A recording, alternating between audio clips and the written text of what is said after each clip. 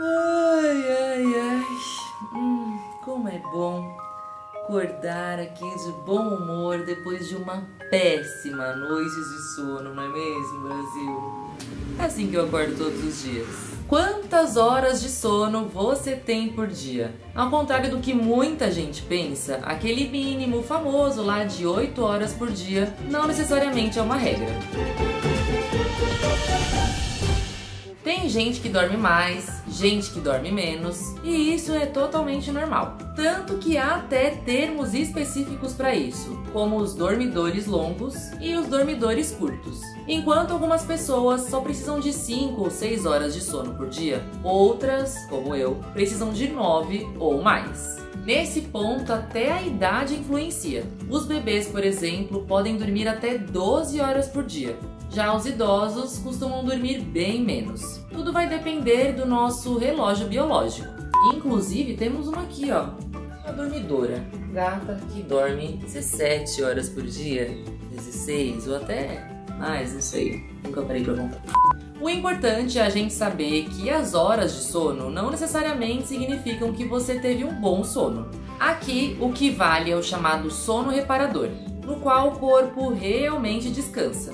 Uma boa forma de saber se o seu sono está sendo de boa qualidade é notar se não estão rolando aí os transtornos do sono. São eles a dificuldade para adormecer, o ronco, a apneia obstrutiva, que é quando você acorda com aquela sensação de sufocamento, ou até mesmo se você passa o dia com sonolência.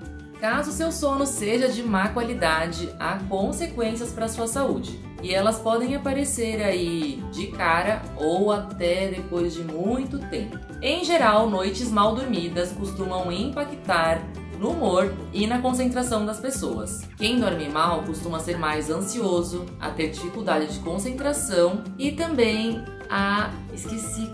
Teve uma memória ruim. Nossa, acho que eu tô dormindo muito mal, porque minha memória tá.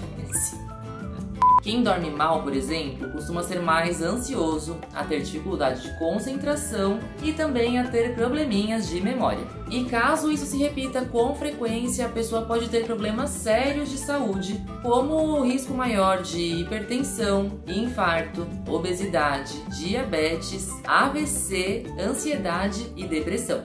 Para evitar isso e cuidar da qualidade do seu sono, há algumas recomendações. Manter hábitos saudáveis, como praticar exercícios regularmente, se expor à luminosidade natural logo pela manhã e evitar aí alimentos muito pesados ou estimulantes à noite são bons caminhos. Além disso, tentar relaxar a mente durante a noite ajuda, além de também tentar manter as telas bem longe da sua cama na hora de dormir. E também vale ter horário para acordar e para dormir. Assim, o seu corpo entra numa rotina e tende a aproveitar melhor aquelas horas gostosas que você passa descansando na cama.